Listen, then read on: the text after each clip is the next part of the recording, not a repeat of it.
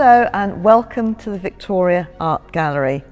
My name's Catherine Wall, I'm Collections Manager here and today I'm going to be talking to you about works by women artists in our collection.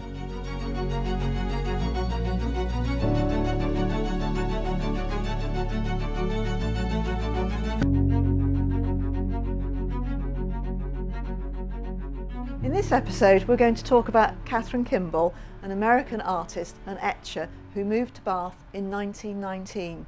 She spent around 40 years living here and the Victoria Art Gallery became an enormous part of her life.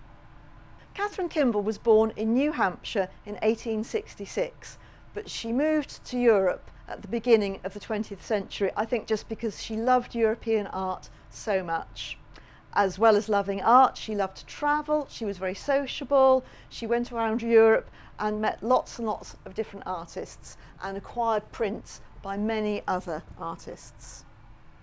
Katharine Kimball gave the largest ever bequest to the Victoria Art Gallery of literally thousands of works of art.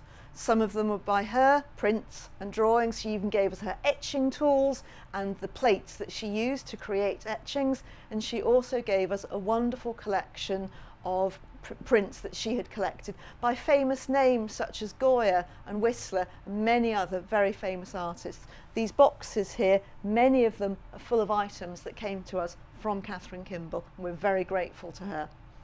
When Katharine Kimball died, Proceeds from the sale of her house were given to the Victoria Art Gallery specifically as an acquisition fund to buy more prints, which is just wonderful.